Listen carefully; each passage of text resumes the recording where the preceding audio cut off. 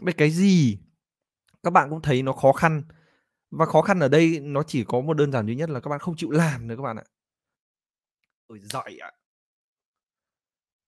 Đây, cô, um, cháu cảm ơn cô Trâm nhá. Lâu lắm rồi lại thấy cô comment lên và cháu, ờ, thật sự là lúc mà cô Trâm đăng cái bản, à, video của mình lên á, mà không có tiếng á cô ạ. Mà cháu cảm thấy rất bồi hồi luôn cô Trâm ạ. Chắc cô cô, có khi là cô nghĩ là cháu nói phét thôi nhưng mà thật sự cháu rất bồi hồi là chỗ là thứ nhất, cô bằng tuổi bố cháu. Đó, việc cô học chính là ngày xưa cháu bảo bố cháu học suốt, bố cháu không học, bố cháu cứ bảo là già rồi không học được. Cháu bảo luôn là "Cái tiếng Anh này nó không liên quan đến việc già trẻ đâu rồi ôi, cái học theo kiểu môn học thì mới" và cháu vẫn nhớ nhá, cô Trâm vào là cũng là lúc bố cháu bắt đầu học. Đó, thì các bạn trẻ này, hôm nay thầy nói này rất nhiều bạn, chứ là chúng ta thiếu cái nhiệt huyết quá. Các bạn có rất nhiều nhiệt huyết nhưng toàn nhiệt huyết cái gì ấy. Trong khi cái nhiệt huyết để phát triển bản thân thì các bạn thiếu rất nhiều.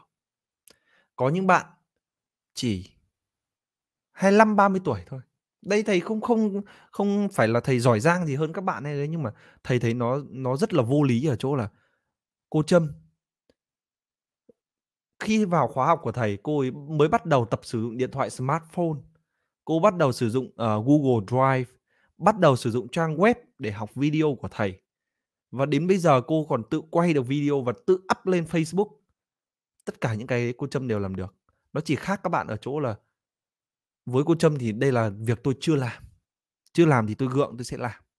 Còn với các bạn á, chưa vào đã, Ờ, thầy ơi, thế cái này học như thế nào? Thầy ơi, em không vào được Zoom." Không phải là tất cả các bạn nha, nhưng sẽ có những bạn như vậy và với những khóa học khác có thể các bạn cũng xảy ra. Và trong cuộc sống các bạn sẽ có những người xuất hiện như vậy thì thầy chỉ nói chung chung như vậy thôi nhá.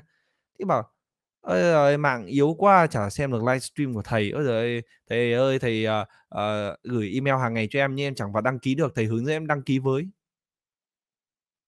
Thì thầy chẳng biết làm nào. biết cái gì các bạn cũng thấy nó khó khăn. Và khó khăn ở đây nó chỉ có một đơn giản duy nhất là các bạn không chịu làm nữa các bạn ạ. Đó, thì với cô Trâm, cái gì cô cũng làm được, mà nó cũng chẳng quan trọng, đúng không cô Trâm? Người ta làm được thì tôi làm được, nhưng các bạn á, toàn kêu trước khi làm rồi Thế là thế đến rất căng.